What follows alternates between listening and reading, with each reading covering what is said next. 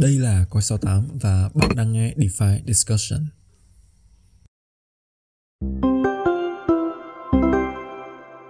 Xin chào các bạn đã quay trở lại với DeFi Discussion. Đây là nơi mà chúng ta sẽ ngồi xuống, trò chuyện và chia sẻ với nhau những góc nhìn thú vị xoay quanh thị trường crypto và thị trường DeFi. Trong tập DeFi Discussion tuần này thì à, chúng ta sẽ à, nói với nhau về một cái chủ đề mà sẽ à, mình tin là nó sẽ rất là đáng chú ý và rất là quan trọng đặc biệt là trong cái bối cảnh mà nâng cấp Denkun à, ờ, một trong những cái nâng cấp à, rất là đáng chú ý của Ethereum và mang lại rất là nhiều những cái thay đổi cũng như là thu hút rất là nhiều sự chú ý đổ về các cái layer 2 Tuy nhiên trước khi đi vào cái nội dung chính của DeFi Discussion lần này thì uh, hãy dành một ít thời gian để đón chào sự trở lại của một cái gương mặt rất là quen thuộc trong các số DeFi Discussion gần đây. Thì ok, hello xin chào Tiến. Ok, xin chào anh Nguyên và tất cả mọi người đang nghe podcast ha. Thì ừ. rất là vui vì hôm nay em lại được có dịp ngồi đây cùng với anh Nguyên để chia sẻ ừ. về những cái câu chuyện xoay quanh cái thị trường DeFi trong những ngày này. Ừ, thì uh, như có đề cập ở cái phần màu đầu thì uh, chúng ta đang đi đến những cái ngày gọi là sát cái nâng cấp lên cool và ừ. chúng ta nói với nhau xuyên suốt một năm vừa qua là cái nâng cấp này nó sẽ có những cái gọi là những cái bổ trợ rất là tốt cho layer 2 và uh, gọi là thu hút một cái sự active nhất định cũng như là những cái dòng tiền đổ lên các cái hệ sinh thái uh, layer 2 này. Dù vậy thì nếu như mà là một người theo dõi DeFi discussion trong uh, nửa cuối 2023 đổ lại á thì uh, chắc là anh em cũng đã từng nghe qua những cái nội dung mà bọn mình chia sẻ về những cái hạn chế của các cái layer 2. Thì uh, trong tập tuần này uh, chúng ta sẽ nói về một cái giải pháp và có thể coi đó là một cái hệ quả tất yếu của một cái bất cập à, vẫn đang còn tồn động ở trên à, layer 2 đó là cái câu chuyện liên quan đến các cái giải pháp share sequencer. Và chúng ta sẽ đi tìm câu trả lời cho cái câu hỏi là liệu cái giải pháp này nó nó thực sự hữu ích hay không và nó có thực sự tiềm năng trong tương lai để chúng ta có thể quan tâm và theo dõi những cái cập nhật uh, trong tương lai hay không. Thì uh, yeah chắc là câu hỏi đầu tiên dành cho tiến đi. Thì uh, khi mà nói về cái từ khóa cell sequencer thì mọi người cũng tò mò là tại sao chúng ta cần có một cái giải pháp một cái khái niệm mới như vậy uh, xuất hiện ở trên thị trường thì chắc là nhiều bạn như DeFi Discussion cũng muốn nghe những cái cái chia sẻ về cái câu chuyện này. Yeah, dạ, ok. Thì theo em thì để hiểu về cái câu chuyện này rõ hơn á thì trước nhất chúng ta hãy đi về cái cơ bản những cái điều cơ bản nhất là xoay quanh cái câu chuyện này. Thì đầu tiên thì ừ. chúng ta sẽ đi lại những cái cơ bản nhất là đầu tiên là sequencer là gì thì có lẽ là đối với nhiều anh em nghe podcast ở đây thì mình nghĩ đây cũng không phải là một cái khái niệm gì gọi là quá xa lạ nữa. Chắc hẳn ai ít nhiều cũng đã nghe tới một lần rồi. Thì à, đối khi nhắc đến những cái sequencer trong đối với lại những cái lời giải pháp layer 2 hiện tại thì chúng ta có thể hiểu một cách đơn giản là một cái thực thể một cái entity sẽ à, làm cái nhiệm vụ gọi là uh, sắp xếp lại những cái giao dịch từ user uh, process chúng và thành những cái cái batch of, of, uh, of chain và sau đó là gửi về lại layer 1 là uh, layer 1 là Ethereum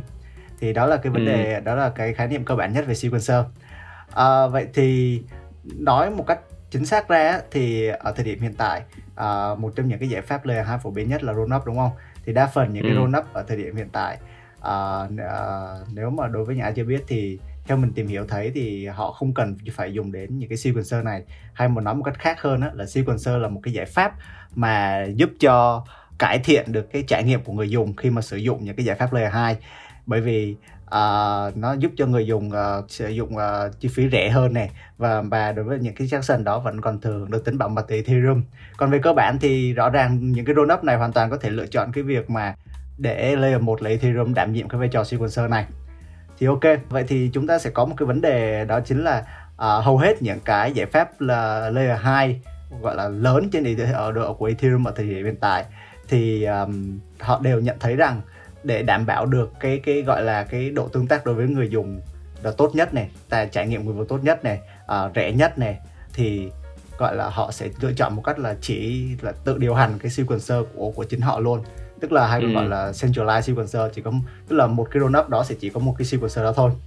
vậy ừ. thì bắt đầu nó sẽ để ra khá là nhiều cái vấn đề mà người ta sẽ nói tới ở đây này mặc dù ở đứng ở góc độ người dùng thì chúng ta không nhận thấy được cái quá nhiều cái sự khác biệt nhưng mà về sau này thì theo quan điểm của em nó sẽ để ra những cái vấn đề về vấn đề về đầu tiên thì em sẽ nói tới là cái vấn đề về uh, cái uh, censorship đi đúng không cái vấn đề ừ. về uh, censorship đó thì có một cái cách mà khi mà chúng ta uh, rút tiền từ L2 về L1 hoặc là gửi bất kỳ một cái transaction nào từ L2 về L1 như mình nói tiêu biểu như là Arbitrum chẳng hạn. Thì người dùng hoàn toàn có thể lựa chọn một cách là ờ uh, mình không phải sự trải qua signature mà mình gửi thẳng về layer 1 luôn. Miễn là người ừ. dùng có thể chấp nhận cái việc là phí gas ở layer 1 là Ethereum là cao. Và vấn đề là và việc gửi thẳng như vậy có thể mất một cái khoảng thời gian gọi là tương đối lâu. Uh, khoảng ừ. mất khoảng thậm chí là từ 12 đến 24 tiếng chẳng hạn thì đó ừ. thì uh, đó với Arbitrum còn phần lớn những cái roll up hiện tại đối với em thấy á, thì khá là khó đối với user để có thể gọi là uh, gửi cái transaction từ L2 về L1 mà thông thông qua sequencer thì uh, cái transaction như vậy thì nó sẽ đều bị uh, bởi một cái entity nó nó nó sensor những cái transaction như vậy thứ hai là một ừ. về vấn đề về một cái gọi là thêm thấy là cái vấn đề về transaction finality tức là khi mà những cái transaction nó gửi được gửi từ L2 về L1 thì sẽ luôn có một cái cái công đoạn gọi là pre-confirmation tức hoặc là soft confirmation để, để cho ừ. người dùng biết được là ở ờ, những cái transaction đó đã được finalize ở layer 2 rồi trước khi nó được hoàn thành layer 1 thì ừ. uh, cái vấn đề sẽ đặt ra ở đây là nếu như những cái cái transaction đó sau khi mà được finalize ở layer 2 rồi và đột ngột tự nhiên cái cái sequencer đó bị hỏng à, bị sập ừ. đột ngột là bị sập thì nó sẽ ảnh hưởng gây cái giao dịch đó nó sẽ bị lỗi trước khi nó được file lại ở layer 1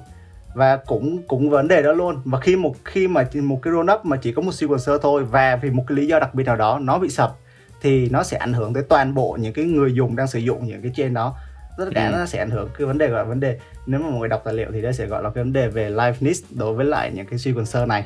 Ừ, ừ. còn uh, một cái vấn đề về ngoài lề khác mà em có tìm hiểu luôn á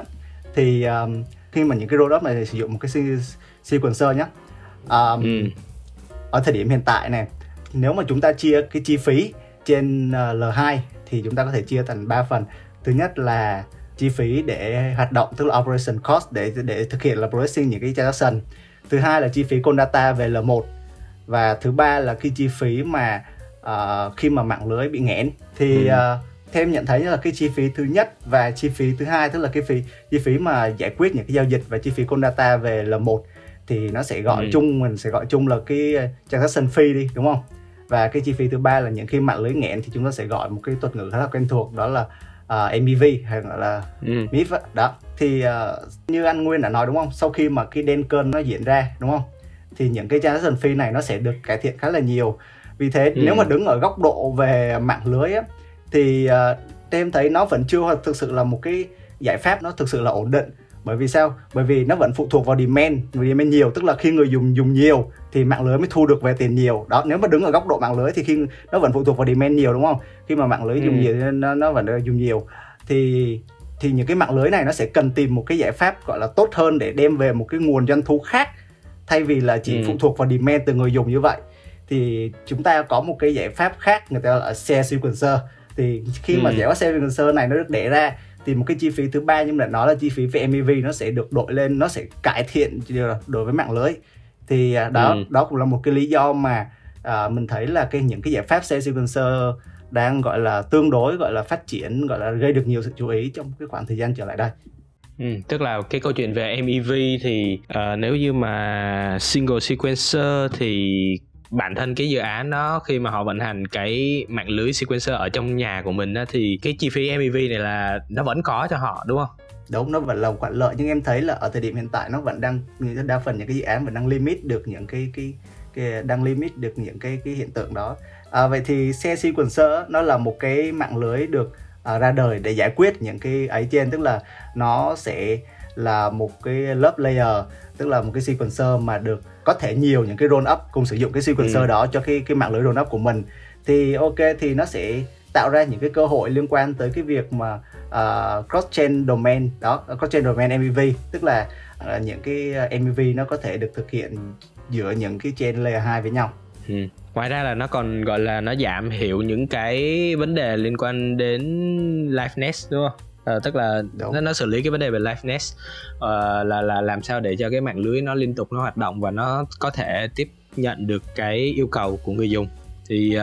trước cái uh, podcast này thì tiến cũng có share cho mình một cái khái niệm mà mình nghĩ là nếu mà đặt cạnh cái chủ đề hôm nay của chúng ta thì có thể nó sẽ hơi rối với một vài anh em. Nhưng mà và mình nghĩ là cái khái niệm này thì cũng nên có một cái phần để chúng ta so sánh một xíu để chúng ta hiểu rõ hơn về xe sequencer và cái sự khác nhau giữa hai cái khái niệm này. Thì cái khái niệm mà tiến có share mình á, là cái câu chuyện về decentralized sequencer. Thì chắc là để tiến nói một xíu về sự khác nhau giữa hai cái này biết đâu được là khi mà các anh em uh, đang nghe cái DeFi discussion này mà sau này mà bắt gặp những cái giải pháp mà họ bảo là họ chọn cái hướng đi là decentralized sequencer á, thì có thể là anh em sẽ sẽ dễ hình dung và mường tượng hơn. Thì uh, chắc là để tiến nói thêm về một cái khái niệm mà cũng khá là thú vị ha. Thì em thấy thì đây là hai cái thuật ngữ mà sau này em nghĩ là mọi người có vẻ là có thể là sẽ hay bị nhầm lẫn với cái khái niệm như share sequencer với lại là decentralized sequencer. Thì Ừ. uh, nếu mà để giải thích một cách cơ bản á, thì em nghĩ là hiểu cách cơ bản thì chúng ta có thể hiểu là share sequencer như em đã nói là một cái lớp layer là một cái lớp layer sequencer mà nhiều roll up có thể uh, cùng sử dụng cái lớp sequencer đó cho cái chain của mình. Và decentralized sequencer thì chúng ta có thể hiểu là uh, một cái roll up có thể được vận hành bởi nhiều những cái sequencer khác nhau. Và thì cơ câu chuyện nó cơ bản chỉ là uh, như mình đã nói ở cái như em đã nói cái thời điểm ban đầu á là uh, những cái layer 2 họ nhận thấy rằng là à uh, cái việc mà họ sử dụng centralized sequencer tức là chỉ dùng sử dụng một lớp sequencer. Nó nó nó vẫn tiết kiệm được chi phí ờ, tiết kiệm được chi phí này uh, ờ, nó tạo ra được cái user experience cái US nó tốt hơn. Rồi uh, chưa kể là những cái câu chuyện mà khi mà chúng ta decentralize cái sequencer chúng ta phải decentralize khá là nhiều thứ. Chúng ta phải decentralize những cái khâu như là uh, ordering chúng ta phải decentralize những cái khâu như là execution rồi vân vân những cái thứ như vậy. Thì uh, đó đó là sự khác nhau khác biệt cơ bản thôi và theo em thấy trong tương lai thì có lẽ là những cái dự án làm về share sequencer và họ sẽ cố gắng tìm một cách họ cố gắng đi centralize cái sequencer của họ. Tức là chúng ta sẽ hướng tới một cái tương lai mà nhiều những cái roll up có thể được vận hành bởi nhiều những cái sequencer khác nhau. Đó có lẽ là cái tương lai mà chúng ta sẽ hướng tới. Thì uh, hồi nãy thì chúng ta có có đề cập với nhau về cái câu chuyện là uh, một cái lớp uh, share sequencer uh, nó sẽ giúp các cái roll up có thể dễ dàng gọi là tương tác với nhau nhiều hơn và nó mở ra một cái thị trường mới người ta gọi là cross domain MEV thì ờ, khoan, hãy bàn đến câu chuyện là cái MEV này nó thực sự là tốt cho người dùng hay không? Hay là nó mang thiệt hại cho người dùng? Bởi vì MEV thì nhiều nhiều anh em cũng theo dõi là cũng biết là MEV nó có khá là nhiều cái uh, loại MEV khác nhau. Có loại thì nó vẫn sẽ sẽ đâu đó nó giúp cho mạng lưới nó liquidation tức là nó đảm bảo là mạng lưới nó được thanh lý đầy đủ và nó tránh những cái nợ xấu thì nó vẫn có những cái loại MEV như vậy. Tuy nhiên là về về hình dung chung thì cái share sequencer này nó sẽ mở ra một cái thị trường như vậy và nó giúp các cái roll up có thể dễ dàng tương tác với nhau và tạo ra được một cái lợi nhuận lớn hơn thông qua cái hoạt động MEV này thì uh, chắc là để tiến nói một xíu về cái cross domain MEV này ha thì có thể nó là một cái hệ quả của cái xe sequencer và có thể nó sẽ là một cái thứ thay đổi uh, sau khi các cái dự án sequencer này nó được triển khai ra thị trường á. Yeah, thì uh, uh, như em đã đã đề cập á thì uh, theo em thấy thì ở những cái thời điểm hiện tại thì đa phần những cái uh, giải pháp layer 2 thời điểm hiện tại thì họ không có một cái mempool riêng biệt bởi vì thường là những cái giải pháp này vẫn đang hoạt động theo cơ chế là first come first serve. Uh, vậy thì khi mà uh, có một cái giải pháp gọi là share sequencer layer này nó chèn vào uh, giữa những cái up khác nhau thì nó như mình đã nói nó sẽ tạo ra một cái cơ hội gọi MEV giữa những cái cái chain roll up này à, như là như anh Nguyên đã đề cập đó là cái gọi là cross chain domain, cross domain MEV á à, Ừ. thì theo góc nhìn của em thì uh, cái việc mà tạo ra cái cơ hội MEV này nó không hẳn là một cái cái gọi là một cái win-win đối với cả người dùng cả về phía dự án. Đúng về phía dự án họ tạo ra một cái nguồn thu mới uh, nó bên cạnh những cái transaction fee. Tuy nhiên thì đối với lại người dùng thì chúng ta sẽ tăng cái khả năng là chúng ta bị MEV hoặc là bị sandwich attack kiểu kiểu như vậy. Tuy nhiên thì rõ ràng là ở thời điểm hiện tại á, đã có một số những cái dự án theo em thấy nha em nên tìm hiểu thì đã có một cái số số những cái dự án giống như uh, Suv của Flashbot á, họ đang đang trích xuất những cái cái ờ, MEV revenue này về đối với lại những cái người mà đã đã khởi tạo những cái giao dịch. Thì họ tức là những cái dự án này họ có những cái cách để họ uh, uh, distribute cái MEV value này đối về đối với là người dùng. Và không biết thì em không rõ là những cái dự án trong tương lai thì họ sẽ là khác những sẽ làm như thế nào nhưng thì uh, đó đó cũng là một cái câu chuyện mà em muốn chia sẻ Ừ. Trong tương lai nó có thể được uh, distribute lại cho người dùng đúng không? Tức là nó tạo ra Đúng. một cái thị trường mới, một cái giá trị mới về cái sự chênh lệch có thể coi là chênh lệch tỷ giá giữa các cái chain khác nhau thì nói về cái câu chuyện cross domain MEV một xíu đi, để để anh em dễ hình dung, tức là hiểu nôm na là người ta sẽ mua ở cái trên mà cái tỷ giá token nó đang thấp hơn một xíu, và đồng thời người ta bán cái token đó ở cái trên mà nó đã, gọi là nó nó chân cao hơn cái tỷ giá một xíu. Thì một bên mua, một bên bán thì về cơ bản là cái cái số lượng token nó vẫn như nhau, nhưng mà họ họ họ ăn được cái chênh lệch đó. Họ làm song song hai cái thao tác đó ở hai cái roll up khác nhau, thì cái đó gọi là một mô tả dễ nhất về cái cross domain MEV để anh em có thể dễ hình dung được cái câu chuyện. Thì đúng là trước đây là khi mà các cái roll up họ hoạt động riêng biệt á, thì cái cái hình thức đó thì nó sẽ nó sẽ rất khó để thực hiện, đúng không? Tại vì các cái chain này thì về cơ bản nó khá là độc lập. Cái câu chuyện về gọi là thời gian xác thực từng cái giao dịch thì nó cũng khá là mung lung với họ nên họ rất là khó trong việc là làm sao để thực hiện hai cái giao dịch đó song song đồng thời. Nhưng mà với cái xe sequencer này thì họ sẽ gọi là nó có một cái lớp để uh, họ có thể uh, đâu đó đảm bảo được là cái giao dịch của họ sẽ được thực hiện và nó sẽ tạo ra được cái MEV transaction đó tức là nó tạo ra được một cái nguồn thu và như tiến có đề cập thì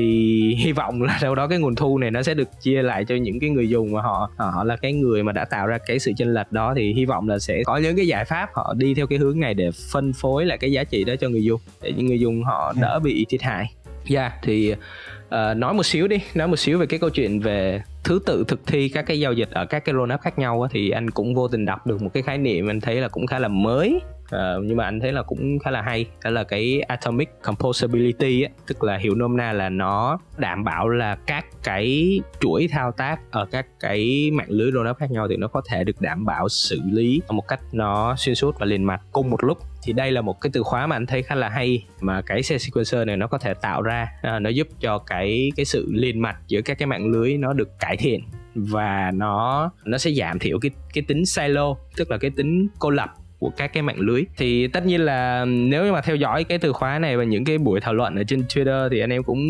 thấy là nhiều người họ sẽ tranh cãi là cái kiểu thực hiện giao dịch mà nó liên tục liên tục. Tuần tự như vậy thì có thể nó sẽ không giúp scale trong tương lai. À, mọi người thì thích là theo cái kiểu là async asynchronous tức là làm song song thay vì là làm những cái thao tác mà nó synchronous tức là nó tuần tự như vậy. Thì có thể nó sẽ có xuất hiện một vài cái tranh cãi về cái khả năng scale trong tương lai. Tuy nhiên là về cái từ khóa là atomic composability tạm dịch là khả năng tương thích đồng bộ của các cái mạng lưới rollup thì nó sẽ được bổ trợ rất là nhiều sau khi ờ, xuất hiện những cái xe sequencer này. Yeah, thì ờ, nói một xíu về những cái từ khóa mà bọn mình thấy là khá là thú vị xoay quanh cái xe sequencer này không biết là tiến có cái thông tin gì về những cái hạn chế của nó không ha hay là tại vì ít nhiều thì thì một cái dự án thì nó cũng sẽ có một cái giải pháp hoặc là một cái hướng đi gì đó thì ít nhất nó cũng sẽ phải có một vài cái trade off một vài cái đánh đổi thì không biết tiến có thông tin yeah. Dạ. gì về về về cái câu chuyện này không Dạ, theo như em tìm hiểu em cũng đã tìm hiểu một số những cái uh, những cái product liên quan tới làm những cái giải pháp liên quan tới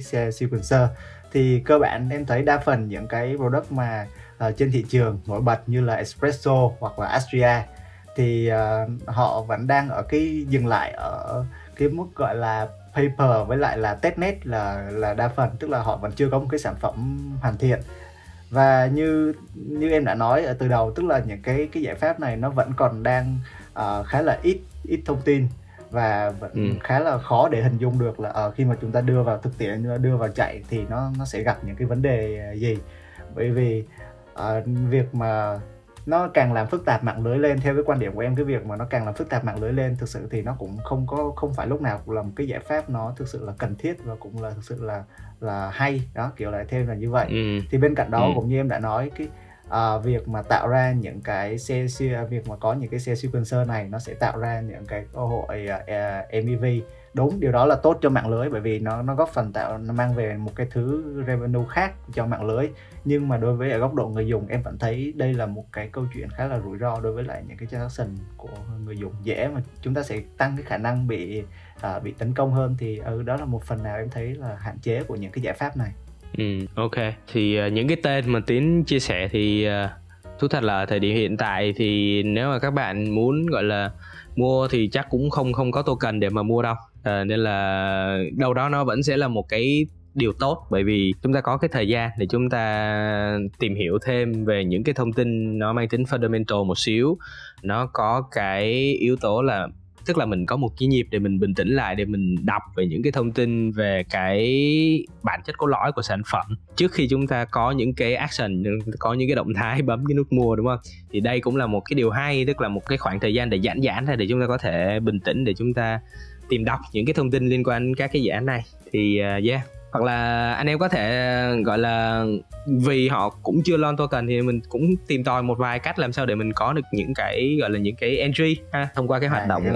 hạn. đúng không? À. ừ, thì nó cũng là một cái hướng đi. Ở cái thời điểm hiện tại khi mà chúng ta bắt đầu tìm hiểu về những cái khái niệm này thì nó khá là mình mình nghĩ là nó cũng khá là hợp lý rồi bởi vì trong tương lai thì cái cách build của Ethereum thì nó cứ gọi là cái lớp sau nó đè lên lớp trước á thì đây là một cái giải pháp mà một cái hệ quả mà gần như là nó sẽ không thể tránh được. Bởi vì uh, những cái giải pháp phía trước khi mà họ build ra những cái lớp khác nhau thì nó sẽ phát sinh ra những cái vấn đề. Và khi mà phát sinh ra những cái vấn đề thì những cái giải pháp phía sau này tự động nó sẽ tự nghĩ ra cái idea để nó đắp vào đắp vào.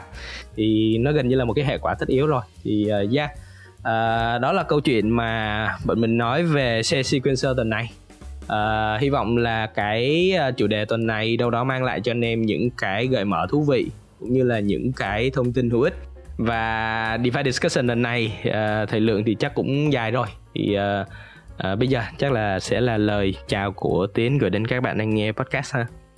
Yeah, thì rất là vui khi được uh, ngồi đây cùng với anh Nguyên chia sẻ về những cái câu chuyện uh, trong thị trường crypto uh, trong tập DeFi discussion tuần này. Uh, hy vọng là ừ. mình sẽ có dịp xuất hiện trong những uh, tập tới ha. Ok, rồi cảm ơn anh em rất nhiều đã nghe đến những giây cuối cùng của DeFi discussion tuần này và chúng ta chắc chắn sẽ có cơ hội để gặp lại nhau trong DeFi Discussion tuần tiếp theo với những câu chuyện thú vị xoay quanh thị trường DeFi ha. Rồi bye bye anh em. Cảm ơn anh em rất nhiều.